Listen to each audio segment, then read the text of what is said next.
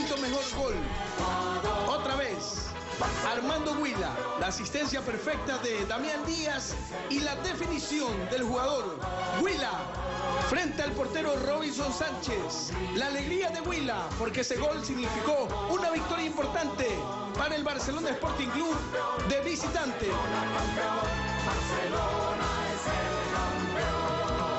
Barcelona, Barcelona,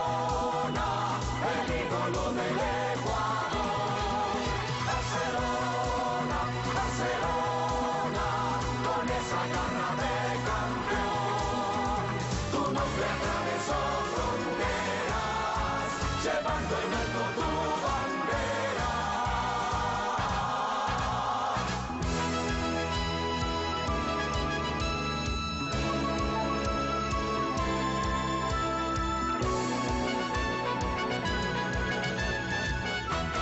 El cuarto mejor gol sería para el delantero argentino Iván Borguelo en el partido frente Independiente del Valle en el Estadio Olímpico Atahualpa. Se manda un verdadero golazo. Se saca la marca del defensa y queda frente al arquero para rematar de derecha y vencer al portero librado Ascona. Una vez más la reiteración de la jugada como Borguelo se saca la marca y un riflazo para superar al portero Ascona. corazón que late al son del grande y del pequeño guayaquileño. Hoy tengo fiesta en el Monumental. El tercer mejor gol de la temporada 2011. En esta segunda etapa Barcelona, Damián Díaz en la victoria ante Deportivo Cuenca. Una definición soberbia del volante argentino Damián Díaz, que lo gritó toda la fanaticada de Barcelona. El segundo mejor gol para el volante argentino Matías Oyola frente al Olmedo. Vence al portero Robinson Sánchez. La alegría y el júbilo de los jugadores porque Oyola con este riflazo venció al portero Robinson Sánchez. Un verdadero golazo de Matías Oyola. El segundo mejor gol de Barcelona. ecuatoriano. Fiesta en el Monumental. Porque juega más. El mejor gol de la segunda etapa 2011 sería para el argentino Iván Burguelo frente a Liga de Quito, corriendo bien la cancha y saca este remate furibundo para vencer al portero Alexander Domínguez ante la marca de Diego Calderón. Saca este riflazo para superar a Alexander Domínguez. Iván Burguelo, el mejor gol. Este top 10 de los 10 mejores goles del ídolo, ¿ah? Sí, eh, la gente se quedó, bueno, producción de Borguero, porque en verdad eh, la forma muy difícil, cómo lo definió, casi sin ángulo, un, un verdadero golazo. Un golazo. Pero bueno, después de ver estos goles, vamos a irnos a un corte, pero no se muevan porque regresamos con mucho más de Primero Barcelona. Recuerden www.barcelonascweb. No, Barcelona SC. Web es nuestra cuenta y www.barcelonasc.com.es es la página. Recuerden que nos pueden seguir y Las oficiales, nos las pueden únicas visitar. oficiales. Y ahí podrán enterarse de todas las contrataciones oficiales, amigos. Yo sé que en estos momentos hay muchos nombres que vienen de muchas cuentas, pero la única oficial que tiene Barcelona es su página web, barcelonasc.com.es o el Twitter oficial Barcelona SC Web. donde se van a enterar de todas las versiones oficiales. Exacto. Vamos a un corte y volvemos con más de Primero Barcelona desde el estadio, Vamos. aquí con mi pana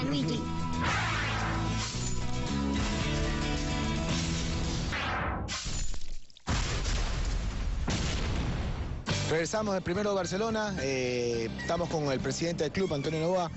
Eh, presidente, eh, bueno, cuéntenos lo que le pareció esta mitad de año. eh, el equipo, usted, rendimiento, ¿se esperaba esto o no? Que el hincha quiere conocer qué tal le pareció lo que fue este equipo la presente temporada.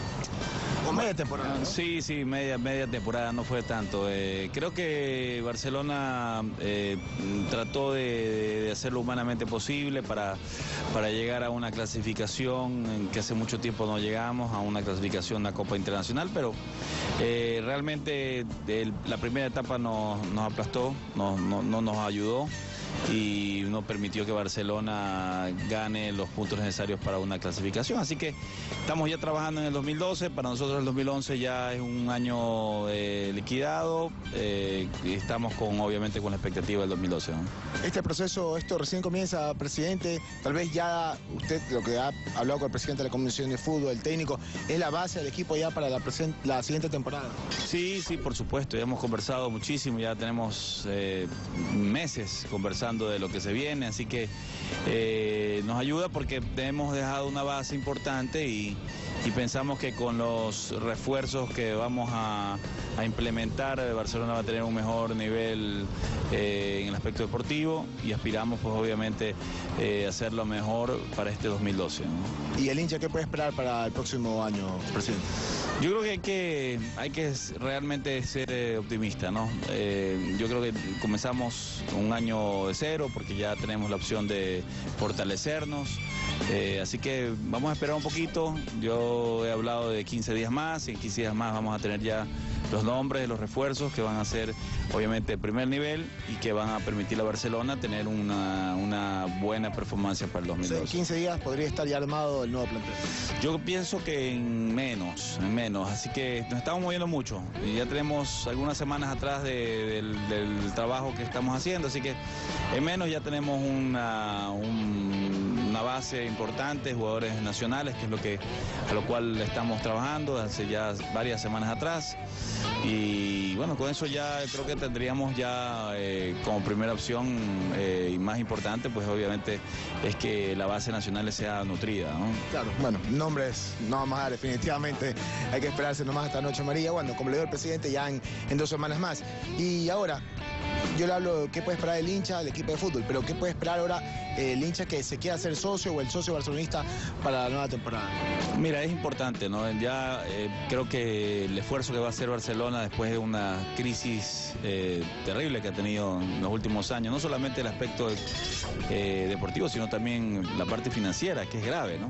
Creo que necesitamos el apoyo del, socio, ¿no? Necesitamos que, que, el hincha poco a poco se acerque a las canchas, venga al estadio y llenar este estadio que es suficientemente grande como para que la ciudad de Guayaquil y todo el país venga a vivir los partidos de, en vivo y en directo. Ahí está entonces, ¿no? Contando de todo lo que se viene para este nuevo equipo en la temporada 2012. Regresamos con María José. Muchas gracias Luis y nosotros continuamos desde este punto del estadio con mucho más de Primero Barcelona y es momento de presentarles un reportaje completito de lo que han sido los partidos más emotivos del ídolo, escogidos por la producción de Primero Barcelona que sin duda nos van a hacer eh, remontar aquellos partidos que fuimos a las gradas, que estuvimos presentes apoyando a Barcelona. A continuación.